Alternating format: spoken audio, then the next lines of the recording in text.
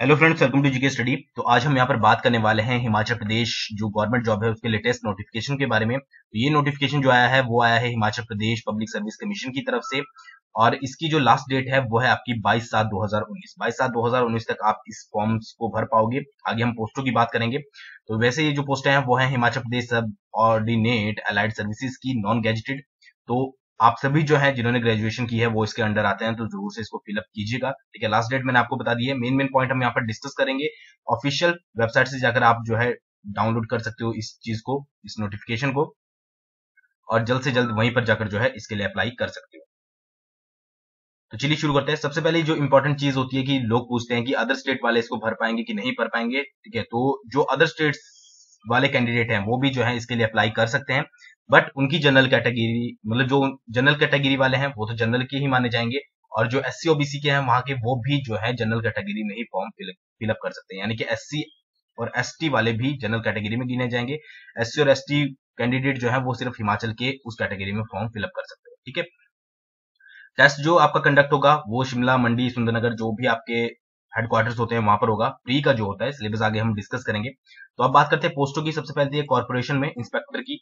तो इसकी जो टोटल पोस्ट है वो 43 है जिसमें जनरल की छह है जनरल बीपीएल की सात है general ward of freedom fighter की एक है एससी की 13 है, ठीक है, फिर एससी बीपीएल की इसमें है, फिर एसटी की एक है एसटी बीपीएल की है ओबीसी की है और ओबीसी बीपीएल की है। यानी कि सभी की जो है इस पोस्टें दी गई है, ऐसा नहीं है कि एससी की नहीं है ओबीसी की नहीं है या फिर किसी और की नहीं है, ठीक है, और आपको जो फिक्स्ड कॉन्ट्रेक्चुअल अमाउंट मिलेगा, यानी कि जो आपका कॉन्ट्रैक्ट पीरियड होगा, तेरह हज़ार नौ सौ रुपए पर मंथ मिलेगा। ठीक है कॉन्ट्रैक्ट बेसिस पे सारी।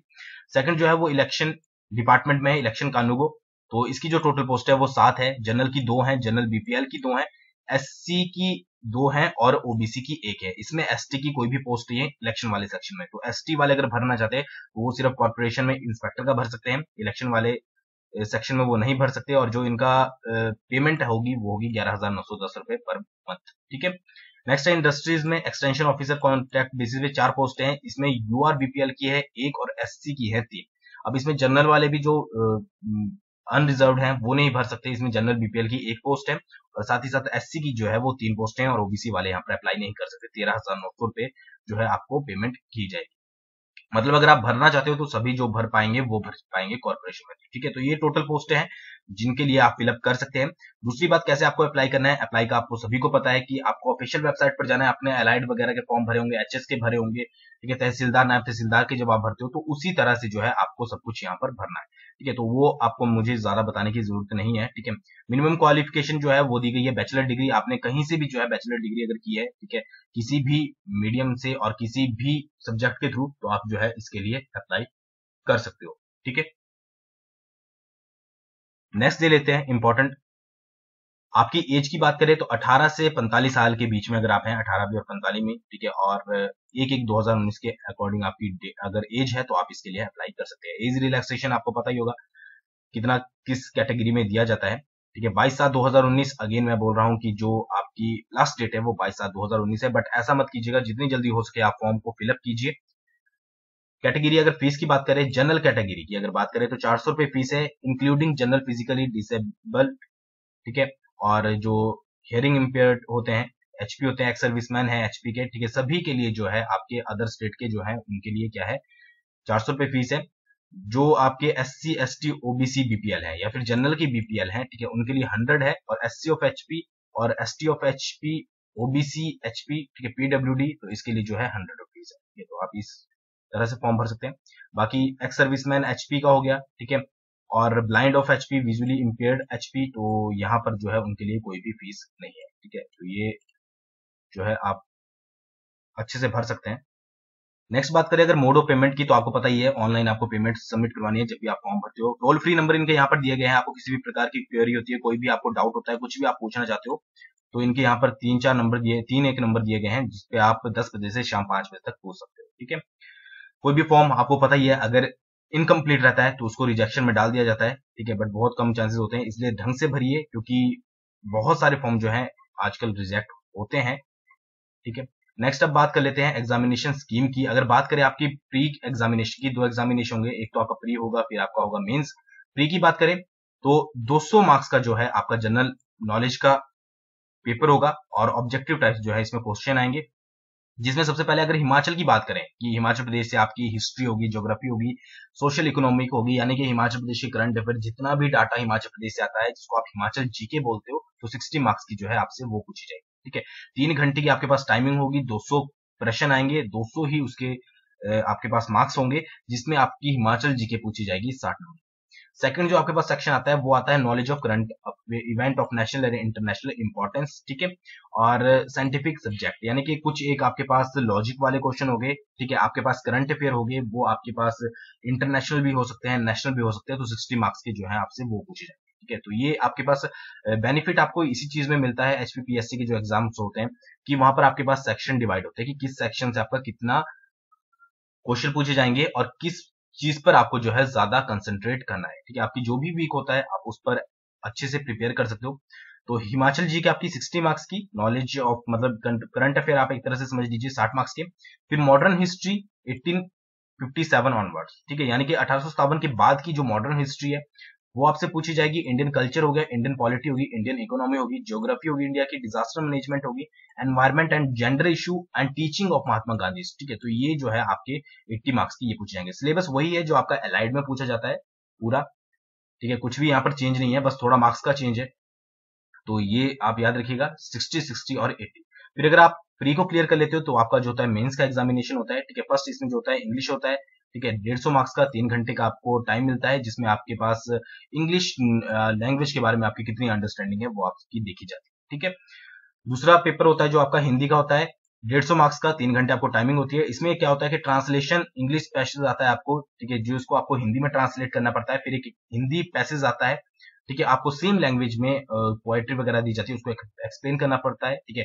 ईडियम्स हो गए करेक्शन होगी जो भी कंपोजिशन वगैरह का सेक्शन होता है, ठीक है, वो आपसे पूछा जाता है, ठीक है। तो ये आपका है, आपका हिंदी वाले सेक्शन ठीक है, तीन। फिर नेक्स्ट जो आपका होगा, वो होगा जनरल नॉलेज का 200 मार्क्स का, तीन घंटे का होगा।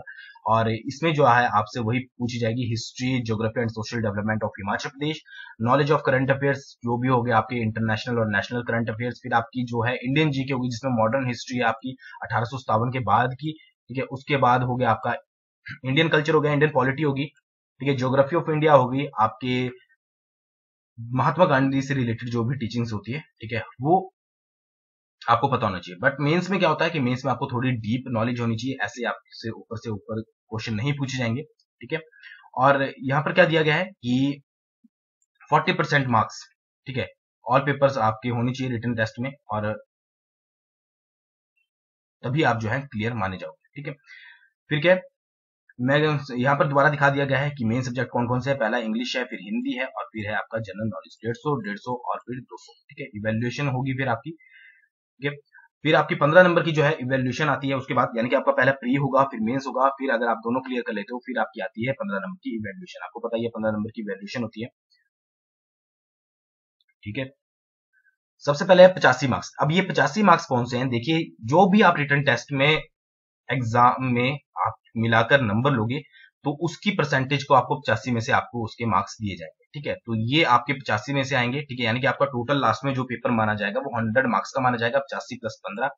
तो आपके जितने भी टोटल आएँगे, उसी परसेंटेज कैलकुलेट वगैरह करके जो है आपको 85 मार्क्स दिए जाएँगे, ठीक है? फॉर एग्ज़ाम्पल अगर एक कैंडिडेट 50 परसेंट मार्क्स ऑप्टेन करता है, ठीक है? अपने जो आपका रिटर्न टेस्ट है तो आपको जो मार्क्स मिलेंगे पचासी में से, वो बयालीस पॉइंट फाइव मार्क्स मिलेंगे, ठीक है? तो इस तरह से है उसके ऊपर आपको नंबर नहीं मिलेंगे, उसके ऊपर आपकी परसेंटेज डिसाइड होगी और फिर आपको 85 मार्क्स में से जो है वो नंबर दिए जाएँगे, ठीक है? दूसरी चीज़ है, फिर आपकी आपकी पंद्रह नंबर की वैल्यूएशन सबसे पहले जाएगी आपको क्वालिफिकेशन अगर आपकी जो भी क्वालिफिकेशन है उसके बेस पर आपको 2.5 मार्क्स दिए जाएँगे, ठीक है? वो आपके डिसाइड करेगी कितनी हाइयर आपकी क्वालिफिकेशन है, ठीक है? बैकवर्ड एरिया और पंचायत से बिलोंग करते हैं तो एक मार्क्स आपको उसका मिलेगा। लैंडलेस फैमिली है या family having less than one hectare आपके पास ज़मीन है तो एक मार्क्स उसका मिलेगा। नो एम्प्लॉयमेंट सर्टिफिकेट है, एक मार्क्स उसका मिलेगा, ठीक है? फोर्टी परसेंट ज़्यादा इंपेयरमेंट है या डिसेबिलिटी है, ठीक है? तो आपको एक नंबर उसका मिलेगा और एनएसएस सर्टिफिकेट है सर्टिफिकेट होल्डर्स इन एनएससी है स्काउट एंड गाइड के सर्टिफिकेट है तो एक मार्क्स आपको उसका मिलेगा। बीपीएल फैमिली है, जिनकी इनकम बिलो फोर्टी थाउज़ेंड है, ठीक है? तो उनको दो मार्क्स उसके मिले जाएँगे। विडो है डाइवर्सिटी है डिस्ट्रीब्यूट है सिंगल वुमेन है, एक मार्क्स उसका मिलेगा। सिंगल डॉटर है ऑर्फन है, एक नंबर उसका मिलेगा। किसी भी इंस्टीट्यूट में आपने आपने ट्रेनिंग की है, एक नंबर आपको उसका मिलेगा। और अगर आपने किसी भी सेमी गवर्नमेंट गवर्नमेंट ऑर्गेनाइजेशन में पाँच साल काम किया है तो ढाई नंबर आपको उसके मिलेंगे। अगर मतलब आप पहले से ही जॉब में हो और फिर भी इसके लिए अप्लाई कर रहे हो तो ढाई मार्क्स आपको उसके मिलेंगे, ठीक है? तो ये पूरा पैटर्न है, जिसको आपको मैंने समझा दिया है अच्छे से कि पहले प्री होगा, फिर मेंस होगा, फिर 85 मार्क्स में जो भी आपके नंबर आपने ऑप्टेन किए होंगे, उनके परसेंटेज बनाकर 85 मार्क्स में से आपको मार्क्स दिए जाएँगे और फिर 15 नंबर की वैल्यूएशन की जाएगी, ठीक है? टोटल पोस्ट आपने यहाँ पर देख ली है कॉर्पोरेशन में है इलेक्शन में इंडस्ट्रीज़ में सभी की अगर कैटेगरी की बात करें तो कॉर्पोरेशन में उनकी अच्छी पोस्ट है। तो आई होप आपको ये वीडियो पसंद आई होगी, जल्दी से अगर अप्लाई कीजिए वीडियो पसंद आई तो लाइक कीजिएगा शेयर कीजिएगा, मेरे चैनल को पहली बार देखिए सब्सक्राइब कीजिएगा। थैंक्स फॉर वॉचिंग बहुत जल्दी मिलेंगे नेक्स्ट वीडियो के साथ।